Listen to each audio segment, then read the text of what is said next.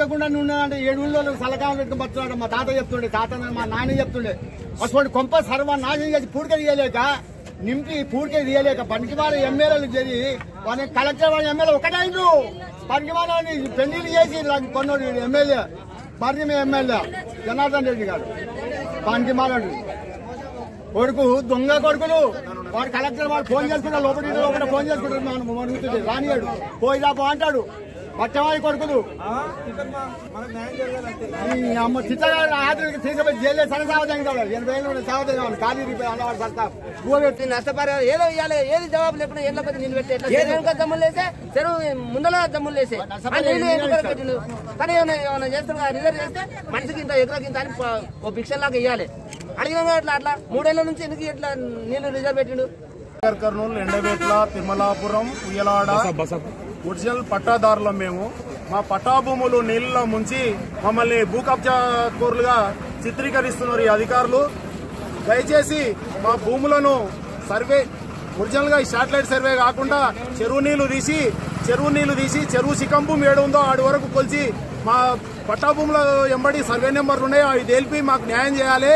లేకుంటే ఇప్పుడు ఇప్పుడు మేము గవర్నమెంట్ను కోరేది ఒకటి ఏంటంటే మా నాలుగు గ్రామాల రైతులు అందరం కలిసి ముక్కుముడిగా ఆత్మహత్య చేసుకోవడానికి రెడీగా అయినాం. దయచేసి మాకు న్యాయం జరగకపోతే ఇప్పుడే మేము ఆత్మహత్య చేసుకుంటాం. దయచేసి కలెక్టర్ గారు ఇడికి రావాలి. వీళ్ళంతా మా ఉయ్యలాడ గ్రామ రైతు రైతులు.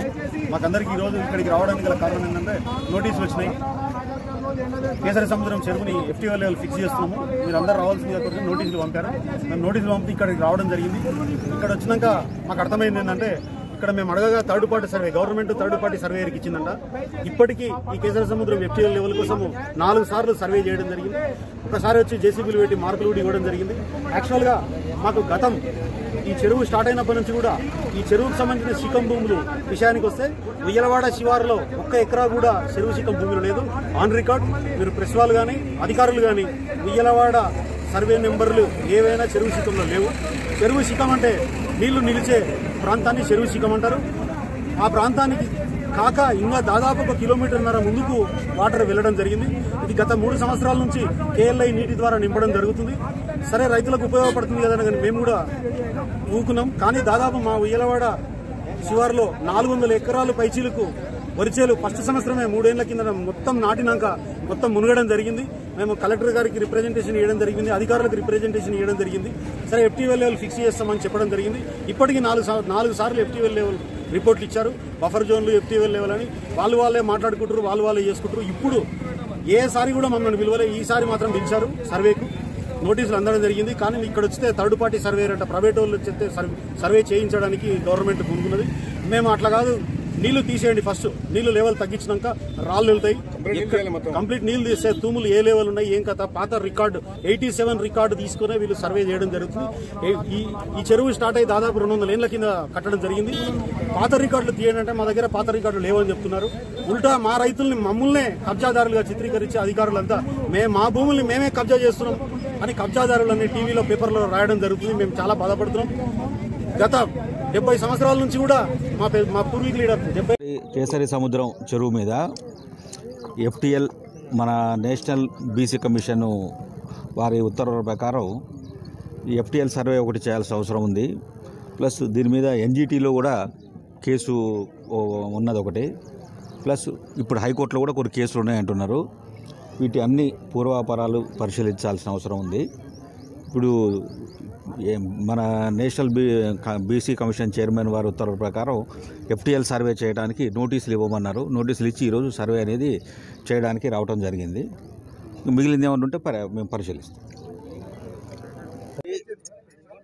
చె- చెరువుకి ఎఫ్టీఎల్ అనేది నీటు నీరు మొత్తం ఆగటం అనేది ఎఫ్టీఎల్లో ఉంటుంది. ఇప్పుడు మనకు ఇక్కడ నుంచి ఎక్కడైతే మత్తడి ఉందో ఆ మత్తడి మనం ఎఫ్టీఎల్గా తీసుకుంటాం.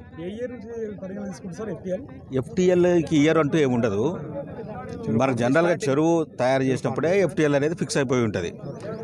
సపోజ్ లేకపోయినప్పుడు పర్టికులర్గా ఏదైనా ఇష్యూ లేనప్పుడు ఒక పర్టికులర్ ఇయర్లో కానీ డేట్లో కానీ తయారు చేసింది ఏమైనా ఉంటే మనం దాన్ని తీయాలంటే నీళ్ళు ఖాళీ చేస్తేనే వస్తుంది నీళ్ళు ఖాళీ చేయాల్సిన అవసరం లేదు. నీరు ఎక్కడ దాకా ఆగిందో ఇప్పుడు మత్తడి దగ్గర మత్తడి లెవెల్ ప్రకారం చుట్టూ తిరిగితే మనకు ఎఫ్టీఎల్ అనేది తెలిసిపోతుంది అనమాట అది. ఇప్పుడున్న నీటి ఎస్ అయితే యాక్చువల్గా ఏంటంటే మనకు ఇంతకుముందు వర్షాధారం ఉండటం వలన వర్షాలు సరిగా లేక మత్తడి కంటే నీళ్ళు కిందకు ఉండటం ఉండే జరిగేది. ఇప్పుడు ఏమైందంటే మనం కేఎల్ఏ కెనాలు వాటి ద్వారా పంటల నుంచి రీజనరేటర్ వాటర్ వచ్చేసి చెరువులోకి రావడం జరుగుతూ ఉంది. దాంతో ఏంటంటే మనకు ఎప్పుడు చెరువు నిండుగా ఉండటం జరుగుతూ ఉంది. దానివల్ల ఇప్పుడు కొంతమంది పట్టా భూములు ఉన్నాయంటున్నారు వాటి మీద మనం ఎగ్జామిన్ చేయాల్సిన అవసరం ఉన్నది. సార్ న్యాచురల్ ఫ్లో ని ఆపి ఎఫ్టీఎల్ ఫిక్స్ చేయొచ్చా? న్యాచురల్ న్యాచురల్ ఫ్లో ని ఆపి ఎఫ్టీఎల్ ఫిక్స్ చేయొచ్చా? మత్తడి లెవెల్ అనేది ఫిక్స్డ్ ఉంటుందమ్మా. న్యాచురల్ లెవెల్ ఫ్లో న్యాచురల్గా ఎప్పుడు ఫ్లో అవుతుంది కదా దానికి ఆప్ వచ్చి ఎఫ్టీఎల్ ఫిక్స్ చేయొచ్చా? న్యాచురల్ ఫ్లో అంటే మనం న్యాచురల్ ఫ్లో ఆపేసే చెరువులు కానీ ఏమైనా కన్- కన్స్ట్రక్షన్ చేస్తాం. చేస్తేనే మనకు వస్తుంది.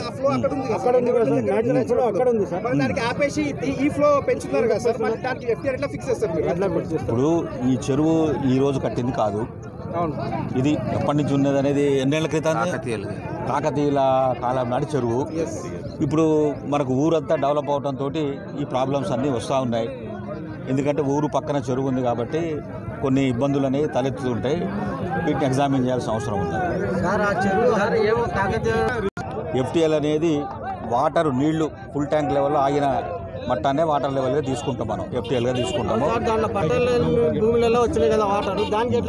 దానికి పరిష్కారం అంటే ఇప్పుడు ఇంతకుముందు ఏంటంటే ఏక్ ఫసల్ పట్టానా లేకపోతే ఏందనేది కొద్దిగా ఎగ్జామిన్ చేయాల్సి రెండు రెండు సార్ పంటలు. ఇప్పుడు దానికి ఎట్లా పరిష్కారం చేస్తారు మీరు? ఎట్లా సమాధానం? అది ముందులో పెట్టుకోండి ఇప్పుడు ఈ ఇష్యూ అనేది డిఫరెంట్ ఫోరమ్స్లో డిఫరెంట్ కేసులు ఉన్నాయి మాకు. వాటన్నిటిని దృష్టిలో పెట్టుకొని మేము చూడాల్సిన అవసరం ఉంది. అన్ని దృష్టిలో పెట్టుకొని మేము ఎగ్జామిన్ చేస్తాం. సార్ ఎన్ని రోజులు పడుతుంది సర్వేకు? సర్వేకి వన్ ఆర్ టూ డేస్ పడుతుంది. One or two days. ఎంత పడుతుందమ్మా? అబ్స్ట్రక్షన్స్ ఏం లేకపోతే చేసేస్తాం. అట్లా. జిమ్మెలు సార్ మన. జిమ్మెలు ఉన్న దిమ్మెలను కూలగొట్టిన అంతే ఆ, అంటున్నావు కదా కూలగొట్టినా నీళ్ళు. అన్ని నీళ్ళు ఇప్పుడు అవసరమే లేదు మనకు ఏదో ఇంకా అవసరం లేదు. అది కాదు కాకపోతే పెద్ద అవి ఊపిరి ఉన్నాం.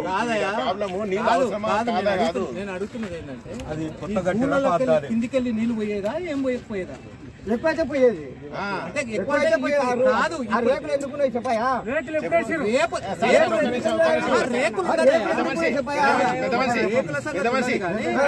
రేకులు లేకుండా పోయి లేకుండా మళ్ళీ ఆ రేకులు మీద ఎప్పుడు మళ్ళీ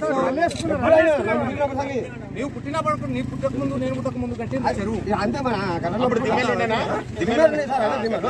దిమ్మెలు అప్పుడు ఉండే కదా నువ్వు ఉన్నాయి నీకు నేను నీ వయసు ఎంత? నీ వయసు ఎంత? అరవై ఐదు ఉంటాయి సార్. అంటే నీకు ఐదేళ్ళ తర్వాత నీకు ఏళ్ళ కింద. అది నే- మే- మా- మేం చెప్పేది అదే. ఈ రోజు వచ్చి ఈ గారు వచ్చి కట్టలే కదా. ఈ రోజు వచ్చి కొత్త ఎవరు వచ్చి. ఇప్పుడు ఎవరు కట్టలే కదా? అరవై ఏళ్ళకెళ్ళి అరవై ఏళ్ళకెళ్ళి ఉన్నాయి కదా. మేము అలిగేషనే పెడతలేము ఇప్పుడు కట్టినామని అంటలేము. ఇప్పుడు ఈ డిపార్ట్మెంట్ రెవెన్యూ డిపార్ట్మెంట్ రైతులు ప్లస్ ఎమ్మెల్యే గారు నాగం జనార్దన్ అందరూ పెట్టండి సార్. సమస్యలే వాళ్ళు మాకు. సమస్యలు వాళ్ళే సమస్యలే. నాగం జనార్దన్ రెడ్డి కొంతమంది కోపం మీద ఆయన కొట్టుకోయిండు జనార్దన్ రెడ్డి మీద కోపం. దామోదర్ రెడ్డి ఎమ్మెల్సీ గారు కొంతమందిని ఇవన్నీ వద్దు సార్. వాళ్ళని కూడా ఇన్వాల్వ్ చేసి రైతుల్ని కూడా ఇన్వాల్వ్ చేసి గ్రామానికి ఐదు మందిని పెట్టండి. ఇప్పుడు నాలుగు గ్రామాలు సార్ రెవెన్యూ రెవెన్యూ అధికారులు తర్వాత ఇరిగేషన్ అధికారులు తర్వాత మీరు ఎవరైతే గ్రామస్తులు ఎవరైతే ఐదు ఐదు మంది పెట్టండి. ఐదు మంది. గ్రామానికి ఐదు మంది. ఓకే.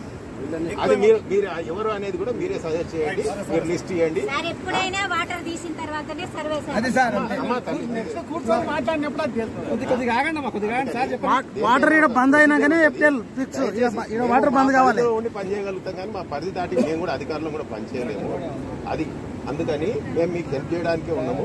మీరు ప్రతి విలేజ్ నుంచి ఒక ఐదైదు మందిని మీరు అన్నట్టు మీరే లిస్ట్ ఇవ్వండి ఈ గారికి ఇవ్వండి. నెక్స్ట్ వీక్ మీ దగ్గర ఉన్న రికార్డ్స్ తీసుకురండి. మీరు అన్నట్టు అక్కడ కూర్చొని ముందు మనం డిస్కస్ చేసుకొని నాగం జనార్దన్ రెడ్డి గారు రిప్రజెంటేటివ్ ఉండాలి మర్రి జనార్దన్ రెడ్డి గారు ఉండాలి దామోదర్ రెడ్డి సార్ ఉండాలి సార్ వాళ్ళు ముగ్గురిని పెట్టుకోకుండా చేస్తే ఇది ముందరికి జరగదు మాకు అన్యాయం అవుతుంది ప్రజలు దీంట్లో రాజకీయాల మధ్యలో పడి ప్రజలు రైతులు సార్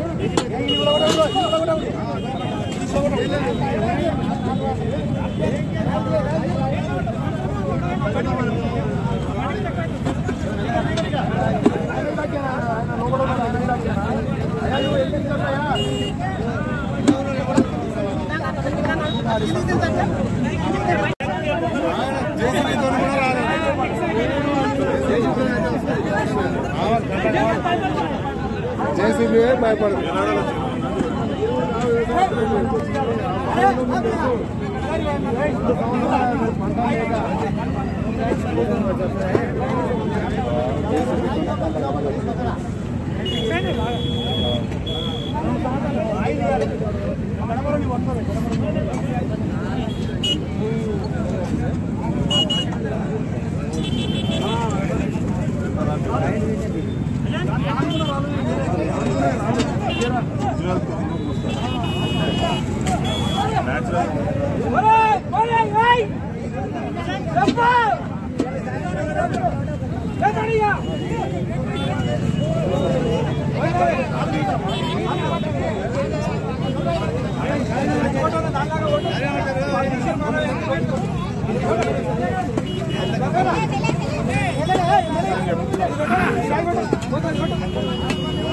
ఇప్పుడు ఎందుకంటే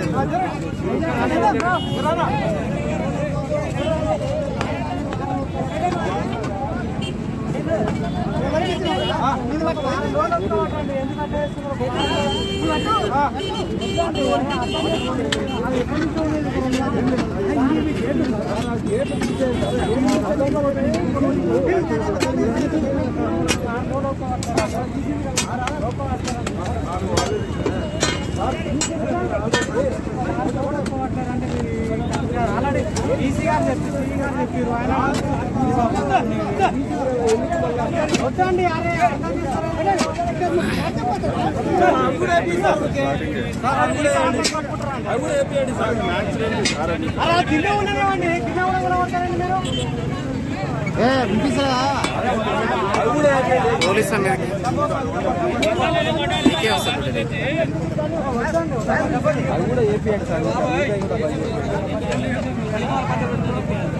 మళ్ళీ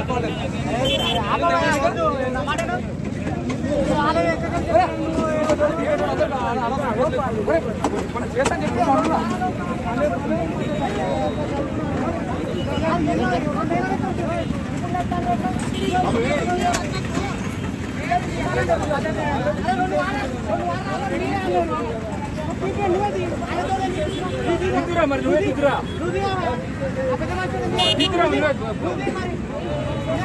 మీరే చెప్పండి.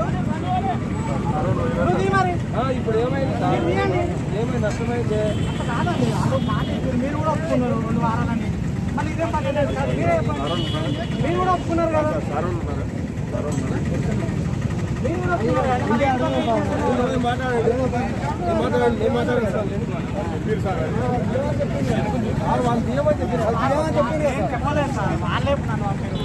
ఎక్కడ దాకా ముందు వారం రోజులు ఆపలేదు. ఎక్కడ